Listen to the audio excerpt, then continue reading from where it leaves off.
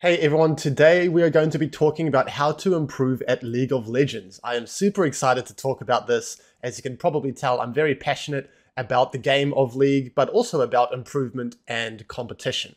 So the video for today is going to focus on League primarily, but of course you can apply the concepts and the skills that I will be discussing to other games and to any other area in your life. I think this video is so important because there are a lot of traps and misinformation and poor advice that I see thrown around in the community and on websites. And they can all lead you down not only the wrong path, but it can also, you know, send you backwards and make you start at a discrepancy in your journey. I don't like talking about this next section too much. I'm going to speed through it. Why should you listen to me? What do I know?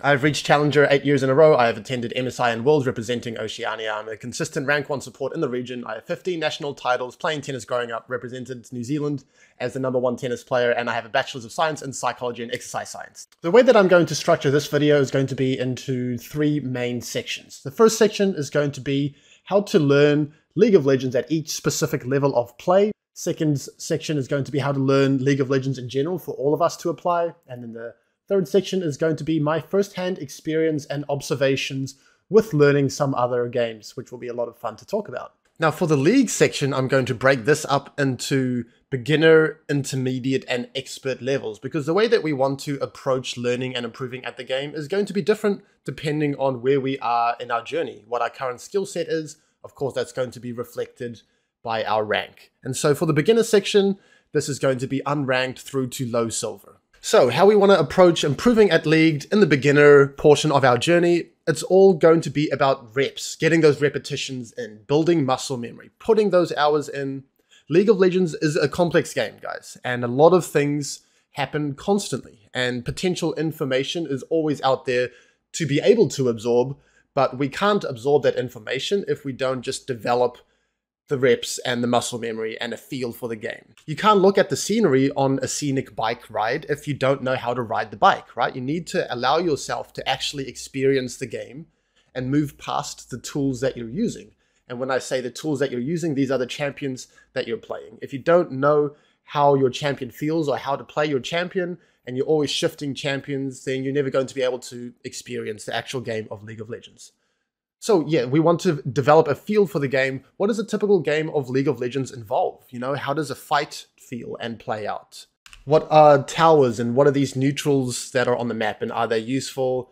How does everything just feel from start to end? And the best way we're going to do that is just to get the reps in and to be able to physically experience what happens. You're not going to improve at the game by looking at the highest win rate champions on websites or by theory crafting builds. You need to put in the time uh, I'm quite early in my YouTube career, right? And my earlier videos were absolutely atrocious, but I knew that I just had to give it a go, get stuck in, and then kind of feel out what works, what doesn't. And the exact same thing is going to happen for League. And so while we're starting out and learning the game, you want to try out a bunch of different champions, a bunch of different champion styles like tanks, uh, mages, enchanters, maybe even DPS. Maybe you'd not even decided on which role you're going to main, right? So then you want to try out different roles as well. Just get as broad of a basic conception of the game of League as you can so that you can start to build on your knowledge. You can start to take your eyes away from the pedals and the handlebars on your bike and you can start to look around and experience and learn. And so practically what this is going to mean is to simplify your improvement journey by eventually one tricking. So you're going to start broad, you're going to get a feel for it, and then you're going to hone in on a champion or a class and definitely a role that you really enjoy and you're happy to committing to for the near future. And that is going to allow you to reduce the variables because there are going to be a lot of variables. There is a lot for you to learn. And so we want to one trick or at the very most two trick when we are in the beginner phase. Like I said before, you have to experience the game through the lens of your champion. So simplify that as much as possible, get that sorted, and then let's learn. So if you have a big pool, you have too many variables, you can't absorb the information. You can't build habits. You can't notice patterns. You're just always thinking about the next matchup or how your champion's abilities work or even what they do. And it's just going to take too long for you to improve.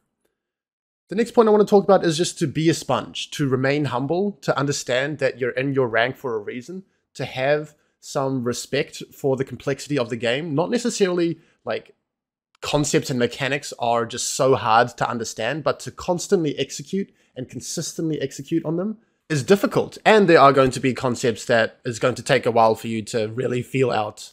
So try not to jump to conclusions, try to absorb as much information as possible. And so for this phase, we are going to be building a foundation for us to build off of to eventually become good at the game. Allow yourself to start building.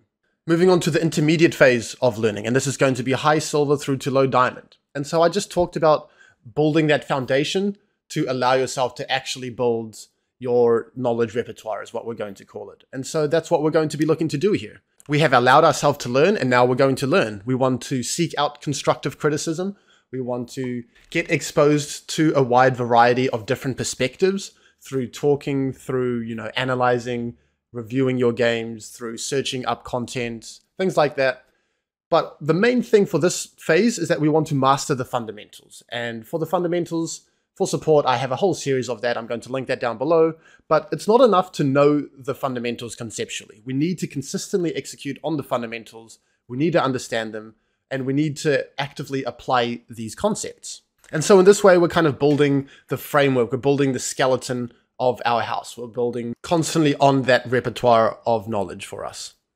We also want to be developing champion mastery and to understand your champion's identity. So we know which champions we're playing, but now we need to dive deep into those champions. We need to understand when they're strong, when they're weak. We want to be very comfortable in how a pace of game plays out on that champion. This is going to allow us to reach higher heights and it's also going to once again simplify the journey for us to minimize variables and allow you to pay as much attention as possible to the games, uh, to what's happening in the game and to apply the fundamentals outside of your champion. So this is kind of our building phase, right? We're building our knowledge repertoire. We're gaining confidence in our game knowledge. We're being more proactive in terms of the games and in terms of how we're approaching our learning. We're more of a driver. We're making calls, and we are developing a cohesive understanding and approach to the game. Now for the expert section, this is going to be high diamond through to challenger. We initially built the foundation and then we built the framework and the skeleton of the house, of the library, of our knowledge. And now we are going to complete the building, right? We're going to fill it out. We're going to furnish it. We're going to add a roof. We're going to do everything to make it a beautiful library. And the way we are going to achieve this is by adding up 1%. There aren't going to be giant blaring errors in our gameplay. They aren't going to be large concepts that we just don't understand and need to learn. It's going to be about little points in the game that just sneak through the generalizations that we have created with the framework. It could be, you know, skirmishes, it could be small build optimizations, it could be anything that kind of catches your eye and you just need to work on, right? And you don't need to create a, an overarching theme or concept to explain it. It just is what it is. It's a little one percenter that we need to improve on. It's a small fire that you need to put out, and you're just consistently putting out those small fires, consistently building up and adding those furnishings. Another part of this section is about integrating your own personal playstyle, your own personality injecting creativity to your knowledge repertoire. So we built it up, but now we need to add that personal touch, that flavor. Whether that's your interpretation of how to play your champion and what their identity is, whether that's a certain rune or item setup that you like to run, whether that's the pace of the game that you like to be involved in, the decisions that you make, and how that reflects your perspective of the game. You have the muscle memory, you have the freedom of mind to be able to pick and choose what works for you and how to integrate your playstyle. We are now going to talk about learning about League in general. And these concepts that I'm going to talk about will apply to any skill, but definitely to League. And these are going to be independent of your rank. Everyone can benefit from these. So if you want to streamline your improvement, pay attention to each of these concepts. The first one I'm going to talk about is time sensitivity. This is not being okay with wasting time if you really adopt this concept, you are going to autopilot less, you are going to mindlessly grind less, you are going to value your time. I don't want you guys to settle with anything less than quality and improvement and moving forwards. And you can think of this as almost like developing an allergic reaction to wasting time. If you feel like you're just autopiloting, you're going through the motions, you can have a visceral reaction to that. You can pay attention to it and change something. I personally attribute a lot of my success to time sensitivity. When I was full time gaming in 2018 in a gaming house with a professional team, there are a lot of times when we were leaning towards wasting time. You know, people would show up late to scrims, or people would get tilted during the game. And what I would do is I could feel that our time was being wasted. We're not really learning or improving or moving forwards. And then I would pause the game and just make sure everyone got on the same page, everyone got their emotions out and got to focus on the task at hand. And I kept on doing that. And I was able to make the most of my time to the best of my ability, and I improved a tremendous amount. It's so easy to go with the flow and just make excuses in your mind, but try to hold yourself to a higher standard. The next is tempo. So this is dictating the pace of the game or whatever task you're involved in, being the master of your own destiny. I've seen the value of tempo in many traditional sports I've played, as well as video games, being able to have the first move, not waiting for things to come about or to magically fall in place, but really taking control, taking matters into your own hands. Be proactive, be engaged. The next point is having a coach or a mentor to help guide you and streamline your learning process. A lot of what the current challengers or pros did in League is they just threw crap at a wall for 10 years until they saw what stuck and they eventually got better just through sheer brute force. We don't all have time for that, right? You guys will have full time jobs. Very few of us will have the privilege to be able to play as much League as we want. And so having someone to highlight the concepts or to guide you through your journey is going to help a lot. I recently signed up to Toastmasters, which is an international club that builds public speaking and leadership skills and I am starting from complete rock bottom. But I have a mentor in the program, and they are helping me to isolate uh, areas of improvement for myself so that I can focus on what I need to focus on. And this is, of course, going to apply to anyone at any level. You will see the best players in the world in their particular uh, areas of expertise in traditional sports have coaches throughout. Having like minded peers or being in an environment or community that is sharing your journey with you can go a long way as well. Surrounding yourself with people embarking on the same journey. You will stay motivated. You will be held accountable by others around you and by yourself. You will find inspiration through others and how they are experiencing their journey. Or at the very least, you can avoid toxic environments and communities that will only set you back. There is no shortage of these toxic environments and communities in the league sphere, unfortunately. So both of these points about coaching and having a like-minded and positive environment and community can be found through my School of Support coaching program, through my Patreon link down below. I hope to see some more of you guys there. Now I want to talk about out of game, away from the craft or whatever you are investing yourself into. I might sound like a broken record, but it's going to be the same message from my other videos. You want to take care of yourself as a person and in life. In-game and out of game are much more closely related than you guys may think.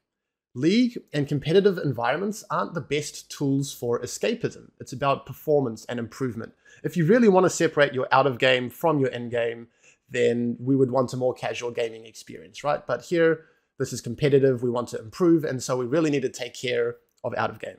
Like I said, unless you're a casual gamer, but then I'm not sure why you would want to watch my educational content. But place importance on your diet, on your sleep, on your exercise, on your mental health, on your resilience, you're not going to magically solve problems in tense situations in game, in league, if you crumble in similar circumstances at work or at school or in your family. You're not going to stick it out in league over the long run and climb if you've made a habit of quitting tasks in life after a short time due to fear of failure, for example. You're not going to perform at the peak of your current level and push past into that next level and elevate yourself if you're on five hours sleep and you're grumpy and you have a headache with eating trash food all day. I've had several of my students mention how valuable it has been for them to get their exercise in, to have a healthier relationship with the game, to move on from tilt, to stay on track, and to remain focused. I would say I'm generally quite resistant to tilt, but I don't even think it's necessarily my personality. It's because I feel good, I take care of my diet, I've worked out and let out that excess energy. And my emotional regulation and proclivity to tilt is night and day if I have worked out or not. Sometimes I jump into my stream and I just let all of the externals and all of the distractions overwhelm me because I just feel tense and restless. It's amazing how taking care of the little things in life makes everything that much better to deal with. Having an unhealthy obsession to reach next levels. So, to be the best at something, you have to be willing to sacrifice a lot for it. This is not for everyone. League for most of us will be a hobby, and that's totally fine. But you need a certain personality to be able to obsess over a certain task. If that is you, and you find fulfillment and purpose in giving your all to a task, then that will be crucial in driving your climb. Don't be surprised or let down when your climb feels slow and then you hear of an 18 year old who's tearing through the ranks and hits Challenger I promise you they have insane dedication and obsession over the game, thinking about it on walks in the shower. It is an obsession. So for this point, just be comfortable with your pace of climb and understand that your level of dedication is of course going to be reflected in your level of improvement. Remain focused on what is in your control. And for this, I want to bring up my ACE mentality tool. Acknowledge the best play, communicate the best play, embrace reality afterwards. There is no point in complaining about something that is out of your control. We're never going to achieve anything from that. We can't influence it. Besides, you know, just becoming a victim and becoming a slave to circumstance. Your effort and your attention should go into whatever actually is in your control so that you can be and do better, improve on what is in your control. You don't get to complain if you haven't done everything in your control to achieve the desired outcome. Let's say your jungler lost a 50-50 smite and then you get frustrated about it. But did you do ace? Did you do everything in your control? Maybe you could have warded over the Baron pit to see the enemy jungler. Maybe you could have gate kept the enemy jungle from even getting near the pit. Maybe you could have communicated to stop damaging the Baron with your pings and sweep out the pit beforehand so it's not a 50-50. Maybe even before that whole 50-50 situation, you could have fought better to prevent that from ever even happening. And this is the trap that we can fall under. There will never ever be games of League where 100% of outcomes and variables are in our control. What we need to do is be comfortable with things being out of our control and just, you know, compartmentalizing them and really focusing on whatever is in our control. We would rather have 60, 70% of an outcome in our control, which might be the upper limit if we really embrace ace mentality, than, you know, 50 50s or even less. So it's pretty much just about maximizing your chances of success. It's the same with poker. There are variables out of your control, the hand that you're dealt, etc. But the best poker players are going to be able to focus on what's in their control and maximize their chances of success, which will make them achieve more in the long run than other poker players. Be your own biggest critic. Only you and no one else will see and experience every decision you do or don't make. Don't rely on your teammates for constructive feedback. They don't know or care about you at the end of the day. They only see the obvious decisions at the forefront. They will end up just flaming anyway half the time. Don't rely on which Nexus explodes to be your source of feedback. You can win and have performed poorly. You can lose and have played well. Hold yourself to a high standard. Value performance, not just results. Really chase that perfection and have that driving force come from within yourself primarily. For this point, I want to share some anecdotes again. So at the start of 2017, which is which was my first full-time year of competing, we were absolutely tearing up scrims. I think we went, you know, 21 and 0 at the start of the year. And it's so easy in those situations just to be able to autopilot and say, wow, we're so good, we're just going to annihilate everyone. But you're going to stagnate, right? If you don't continuously improve and push yourself. And so I had a huge focus on making sure that my performance and my decision making was top tier, regardless of the outcome of the game. I could notice some of my teammates, you know, be really happy and giggly and start to become complacent and not really review their games as much as they should. But I would hyper focus on, uh, you know, level one or a trade or a rotation that our team did and try to see the decisions you're making for exactly what it is. Do you think that if the enemy team was better, you still would have had a successful outcome in that moment? And so what I tried to do was just impose the idea of perfection onto the enemy and see how we're matching up against that. Just do, get the hours in. Don't underestimate how important it is to engage with the task firsthand click that queue up button. Don't fall into the trap of waiting and hoping for the perfect circumstances to practice. That's never going to happen. You're not going to improve by memorizing the best builds and win rates on OPGG or by solely watching your favorite streamer or content creator. You need to put in the hours, you need to apply what you know, you need to test things out firsthand. I will say that the more you do this and the more that it just becomes a habit for you, then the less of an issue it might be. Ranked anxiety is a real problem for a lot of us. I've been there, I know how it feels. But the more that you sweep that issue under the rug and you don't confront it, the bigger and bigger that monster is going to grow until it is too much to tackle and you get overwhelmed and you abandon everything. Understand that making mistakes is part of the process. And so making mistakes is actually vital to improvement. You should be chasing making mistakes. It means stepping past your current boundaries. Then if you learn from your mistakes appropriately, your boundaries are going to get extended and then your current limits are going to improve and improve and improve and that's how you are going to get better. So we need to develop a resistance to the fear of making mistakes. It is very natural for us to not want to make mistakes, to let our teammates down, but we do have to understand their importance. In reality, there needs to be a balance between being a psycho, not caring about mistakes, and performing to your current limits. However, in my experience, the message that the vast majority of people need to hear is be more of a psycho. Maybe a little bit of self reflection on where you think your personality fits in this continuum uh, could be useful for you. But anyway, you know, who cares if you waste your flash there, or if you lose a trade, or if you die there, or if you even lose that game? That's just a single drop in the ocean of your League of Legends career. That game means absolutely nothing in the long run. The more that you can build on your knowledge repertoire, the better all of your future performances will be. So test that limit. If you're not really sure if you can or can't do something, find it out. And then for the rest of your League of Legends career, you will be better and you will know. This ties in quite seamlessly into my next point of having a long term improvement mindset. I want to start this off with an analogy. Like if you go to the gym, do you expect to just go in one day and then immediately see results? Of course not. That's ridiculous. You're going to pick up some weights, you're going to put them down, you're going to take care of your nutrition, and you're going to do it again the next day and the next day without seeing any results in the short term. It's the exact same with improvement for League of Legends. It's going to be gradual steps you're going to do the right things and you're going to trust in the process that if you keep working out on these muscles of yours, then you are going to notice results. Everyone is looking for that one champ, that one build, that one strat, or that one workout that will magically get them the results they want immediately. That's not sustainable, that's just a fairy tale. Luckily for us, the way that reality actually works is that nothing meaningful comes easily. Or what's the point of having or achieving it if anyone can, right? We want to be able to achieve something meaningful. It's a marathon, it's not a sprint. We always want to be a student and we don't want to settle with stagnating. Let's say you hit your desired rank. Fantastic. Let's celebrate that. You can feel proud of yourself. But then what? You've hit your rank. Are you just never going to queue again? Are you just going to allow yourself to sit there and stagnate and stare at your rank forever? The game is always evolving. Players are getting better. You can easily get worse too. And the fulfillment we find is through setting new tasks and goals and achieving them and moving forwards.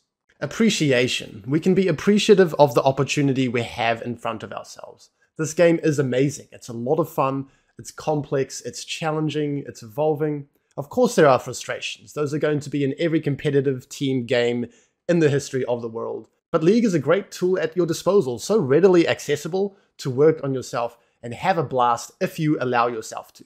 If you can move past the factors outside of your control, especially your teammates, you really can have a blast with this and most of all, to have fun. That's the main point behind playing this game. Enjoy the journey. When you are no longer a slave to the moment and to your results, this becomes so much easier. You can enjoy the back and forth, the competition, performing to your best level, the problem solving, everything coming together. Even if you're thinking, coach, there's no way that anyone can actually enjoy this game. If you have to fake it till you make it, you can even do that. I have done that for periods of my time with League as well. For this next section, I put my toolkit of how to improve to the test. It's one thing for me to preach these concepts, but for me to do it myself, to get results, and to share my observations may serve as a useful illustrator to you guys. So what I did is I climbed the rank ladder in several games, all with different levels of likeness compared to League, and this is what I found. So the first game that I put to the test for these concepts that we've talked about, Pokemon Unite. This was the most similar game that I had played to League. You know, it's a MOBA. You have lanes, there are neutrals, there are jungle camps, there are minions, and you try and kill the enemy nexus. So I tried a couple of different Pokemon at the start of my journey until I enjoyed the theme and the feel and the playstyle of a certain Pokemon. I did want to choose a Pokemon that I enjoyed the theme, the feel, and the playstyle of so that I could commit to them for the future and learn the game. Since I'm familiar with uh, supportive and tank and carry classes from League, I didn't need to feel them out too much to understand, you know, what they do in general. And I ended up hitting Masters, and this is my journey on hitting that highest rank, which is pretty much Challenger in League. I started off trying out Eldegoss. Very simple design. I didn't like the playstyle. It was too supportive. It didn't really have that much agency. And then I moved on to Cinderace pretty quickly. Very high tempo, carry oriented. I enjoyed the playstyle. I played Cinderace in the jungle and was very efficient. I was able to develop huge leads, and eventually I branched off from having only Cinderace in my champ pool to having Cinderace and Snorlax. Now, Snorlax, very simple, effective. He had CC, he was a frontliner, absolutely loved the playstyle. And this is like more of an engager playstyle rather than a carry playstyle, I would say, which did shine a little bit of light on the champions that I enjoy to play in League as well, right? Because I'm very um, drawn to champions like Rell and Rakan, these engagers that can get the play started. So anyway, initially I played around with websites for like stats and for team comps, but it just didn't really feel helpful. It felt like a bit of a trap. They weren't reflective of, you know, what I enjoy playing and the games that I was experiencing. And tier lists are always subjective and are going to be skewed towards higher level of play as well. So I did expect this as I preached the same for my students, but experiencing it firsthand was encouraging. After I had my champ pool sorted, I could learn and experience the actual game. I was always focused and on the lookout for patterns, for optimizations, for observing how something felt and how effective tactics felt in the game. I learned how to ride my bike and I was able to look around and pay attention to what's going on. What this realistically meant was I learned how to optimize my clear on Cinderace jungle, how to use my dash ability to deal damage, and move to the next location, which neutrals to contest, which levels were important power spikes for Cinderace, for Snorlax. I already knew a lot about some fundamentals that carry over between the games, such as cooldown management, health pool, I knew about spacing, about neutral camps, about prio, about like runes and summoner spells equivalent uh, set up in Unite, about skill order, etc. So it wasn't the most challenging or impressive climb in my eyes, but it did help to shine some light on how to approach a game that you don't have any champ mastery on. I did notice that the ranked system was putting me with other competitive gamers relatively quickly, which was nice. So I didn't feel like I was stomping kids after they had just come home from school for too long. Um, but the main thing was the shorter game times and the game felt much more coin flip than League. Zapdos, this is like the Baron Nashor of Unite, is very easy to contest. It's in the middle of the map. At any deficit, you can kind of flip the game and mount a comeback and win from there. And so sometimes you don't even want to hit Zapdos when you are ahead, because then if the enemy team steals it, they just get the last hit, then they can uh, run away with it. Initially, I duoed quite a lot. Now, I didn't go into this game with the plan of making a video years in the future to talk about my journey. I wanted to pick up a new game with friends, and so I do it a lot. It felt fun to play with someone else and share the journey in that aspect, although I could already feel the trap of duoing coming about. Luckily, I was well equipped and alert to the danger, so I didn't let it consume me. But they were quick to blame teammates and talk about Pokemon or strats or whatever being broken. This is OP, we need to ban this, we need to play this. A lot of potential distractions away from me taking maximal responsibility and improving. But I already knew to ignore those types of comments and to really focus on myself and pay attention to what was working from my perspective. I finished up my climb just playing solo queue and got the highest rank solo. The next game I'm going to talk about TFT. Some similarities, a lot of differences to League.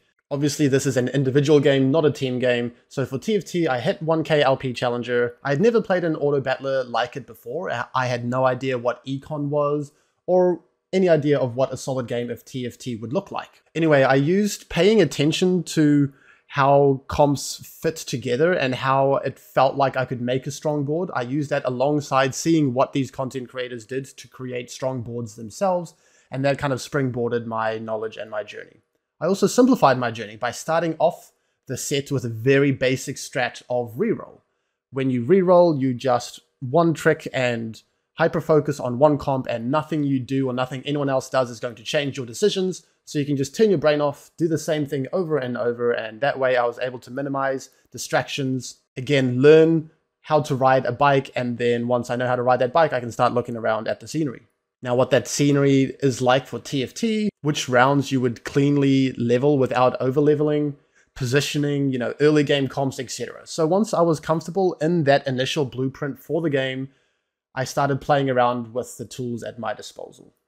And that was kind of me shifting from beginner to the intermediate class. I experimented a lot. I would slam really strong early game items initially to win streak and then try to ride that power and that tempo to just get a top four. I would also try to greed for those perfect items and try to create the strongest board possible, running the risk of just dying before you get there. So in league terms, this could be trying out really strong early champs or a hyperscaling champs and just seeing what works for you in your games with your personality. Now, since TFT has no teammates, I found it very easy to stay focused on myself and perfect my craft. It gave me an appreciation in a weird way of the difficulties of League and how it is more challenging with that team dynamic and also being turn based, how much easier it was to make decisions with less time pressure comparatively to League. I reached my peak in TFT by embracing my own style, which was very high tempo, fast spikes, slamming items, putting pressure on the lobby, not allowing anyone time and space to greed and scale up in a way, mixing and matching boards and comps over just greeding for perfection. Sometimes you don't get offered the best options and getting 6th instead of 8th is a win. Sometimes you could have just pivoted and been less rigid, etc. So I really try to pay attention to what I could have done better, away from the results. Just like in League, if you lose the game, that doesn't mean you can't take anything away from it. If you win the game, it doesn't mean you played perfectly. Pay attention to your decisions and your performance. But yeah, I branched out the most at high elo, just like in League of Legends you would. We hear about so many pro players or challenger players having climbed up the ranks by starting off just one tricking and then expanding once they have reached Challenger or have found themselves contacted by a pro team. And last but not least, we played Omega Strikers, and this was the most different game comparatively to League. It is a completely different idea, but it is still a competitive team game, which is a huge element of what League of Legends is for our journey. So Omega Strikers was going to be the best stress test in my eyes of my approach to learning. I had absolutely no idea where to start. I hadn't played a game that was similar to it. Omega Strikers is kind of like Rocket League mixed with Smash Bros in a way, but I've never played either of them. But anyway, there are characters with their own unique abilities and their style, and this is of course similar to League, so I once again approached the game by first trying to sort out my champion pool, by feeling out which champions I enjoyed, which I didn't, which gelled with me. I played some goalie, I played some forward, those are the only two roles in the game. But I stayed away from tier lists after initially having a look and deciding it doesn't matter, I can make work with whatever I enjoy and whatever will allow me to learn the game. But I really do empathize with the draw and the pull and the temptation to searching up what is OP, searching up, you know, shortcuts, what can I do, what is the strongest. Don't fall into that trap and play what you enjoy. So I settled pretty quickly on Dubu. This is like a giant kind of squirrel character, I guess. I would equate him to Snorlax in Unite or to Galio or Alistar in League. Simple abilities, crystal clear identity with CC and Peel. I also played around a little bit with Estelle initially. This was a forward instead of a goalie. This is kind of uh, an AD carry in a way. She has a simple design but a high skill cap. I also played some Juno, very unique champion, very high skill cap. I was initially drawn to that, but I felt a little bit overwhelmed and I would equate Juno to champions like Bard or Thresh or Pyke in League. I just didn't have the game knowledge and the muscle memory required to be able to pilot a champ like this.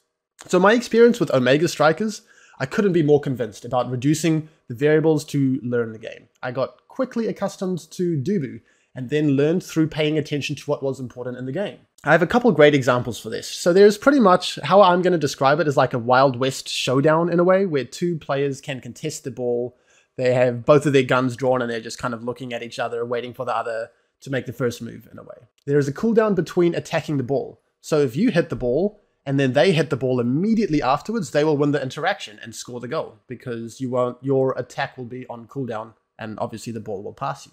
This is especially relevant if you're the goalie, right? If two forwards are playing that little mini game, then the ball is just going to go back to the goalie. But if the goalie and the enemy forward is playing that mini game and you lose it, you lose the goal. So you have to be an absolute psycho in this regard. You have to just not care at all if you lose that interaction.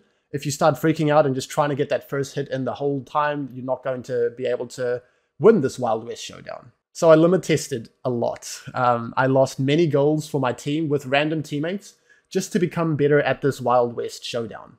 I embraced the long term mindset and quickly had the results to show for it as I understood the power of this toolset. I began winning the majority of these 1v1 interactions and stacked up MVPs in my matches. I also quickly learned the importance of what I'll call level 1 tempo in Omega Strikers. So how this game works is you have an ult from level 2, and then for the rest of the game, you have it, and it has a longer cooldown than your base abilities, just like League. But if you use it at the start to gain tempo, to gain control of the ball, to ensure that the ball is on the enemy half of the map, then you can control the pace of that round. So in a weird way, this was like snowballing in League. Gain an advantage early on and then maintain that advantage to lead yourself to victory. Now this game is my most recent side project. I haven't reached the equivalent of Challenger in this game, but here is my current rank and my current win rate, and I firmly believe if I carried on the same path, it would be a matter of time I'm just not currently putting the time into this project anymore. What I would do is I would eventually expand my champ pool and start learning matchups more when I am maybe in the equivalent of, you know, Challenger. But for now, I would just be focusing on that champion identity. Just to reiterate, I wanted to show you guys these examples to reinforce that these concepts, this approach, this toolkit works. I didn't get lucky, I'm not insanely talented, I'm just prepared to learn and improve. I know it may not be the most exciting answer, but at the end of the day, be honest with yourself. We can either be brave, give it a real shot with all your soul, invest yourself into your climb, into your journey, and who knows? If you become the type of person to do something like that, maybe you'll do the same in other areas of your life too. Or you look at yourself in the mirror and tell yourself you're not willing to do what's necessary to climb, even though deep down you know what is necessary to climb. It's as simple as that. There's no room for excuses or delusion here. So, what do you want? Why did you click on this video? Are you feeling lost or stagnated? Or are you looking for the illusion of progress, as if just watching this video will do the work for you? No one can do it except for yourself. I've been there, guys. You know you want to uh, change something in your life, so you get advice and you do some prep, but committing yourself is a whole nother beast. So I believe in you. I hope you take some action if you think improvement will be meaningful to you. Thanks for watching. Please consider liking and subscribing if you enjoyed. Big thank you to all of my patrons over here. I really couldn't do this without you. Um, the links for coaching, for Patreon, for my School of Support Discord server, for socials, they're all going to be linked in the description below. Any and all support is greatly appreciated.